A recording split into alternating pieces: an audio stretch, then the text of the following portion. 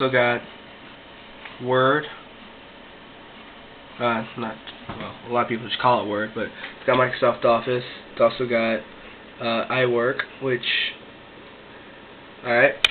Here's a little question: Which one should I actually buy? I have the trial version of both. Um, which one should I buy? Uh, iWork 09 or um, Microsoft Office 08?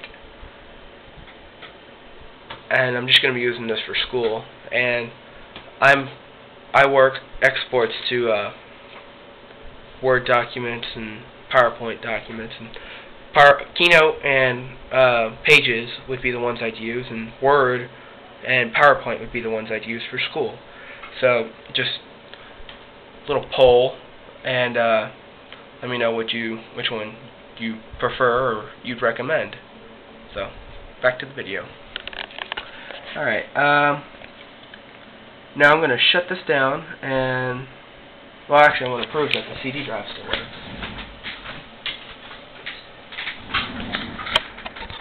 This is just a printer driver from my printer over there, but this is an old printer, so it doesn't quite work with these computers. Actually it works, it's just the software doesn't. Hold on. There it goes. Hear it spin up. Should place it right there.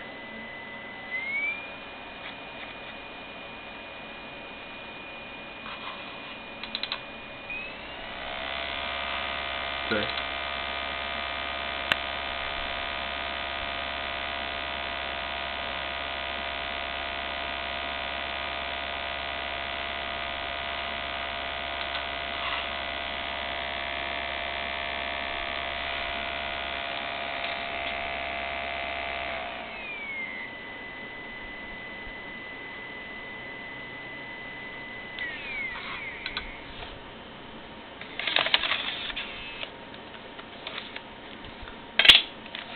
There you go, proof that the CD drive is working. And I'm going to pause the video. Actually, I'm going to shut the Mac down. And just for people who'd like to know how to get your Mac into target mode, and let me show you what I've been doing with my FireWire cable and port. So that's what I've been using it for. Shut down. Thing shuts down really fast. Check it out.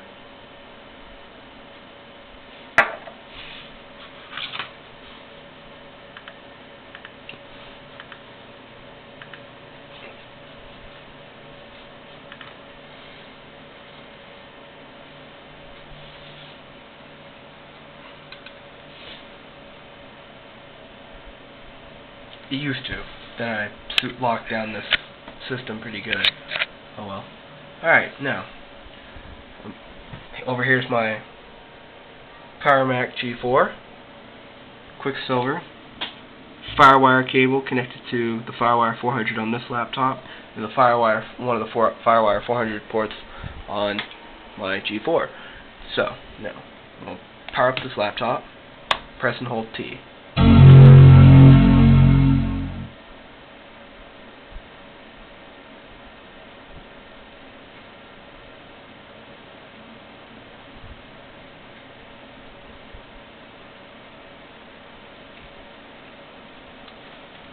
it does this, and then over here, it should pop up. There it is. So, those of you who have two Macs and like them to communicate,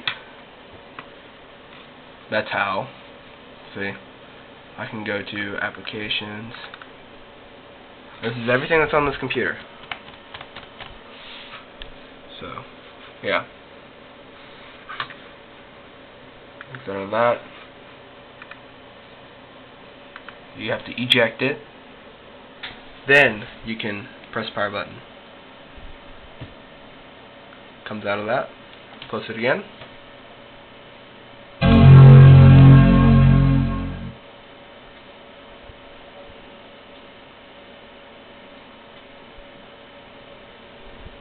got power to the USB. And now comes the boot process.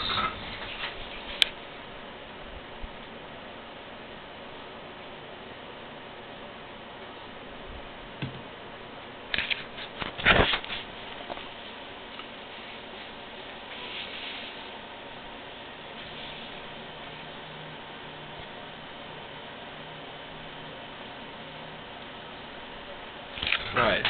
So I have to type in my password and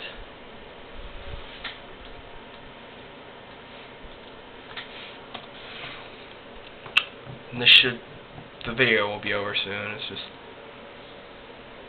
you know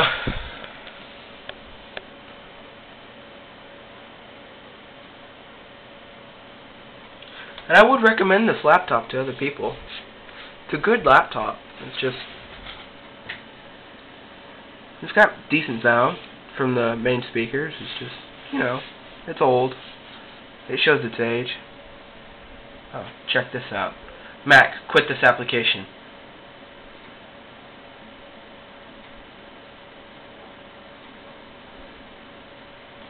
Hold on a second.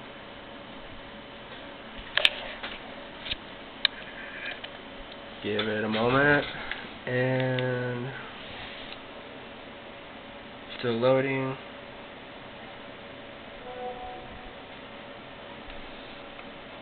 Mac, quit this application.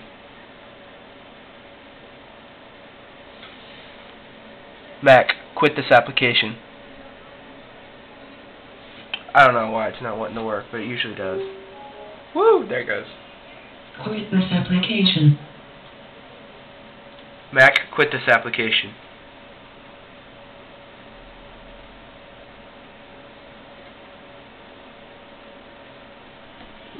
Just went away. Over. Oh well. So that is my review on my PowerMac G4. No, my bad. My iBook G4. I've already done a review on my PowerMac G4 Quicksilver. And, uh, so, yeah. This is Loves Rock 24-7, signing off.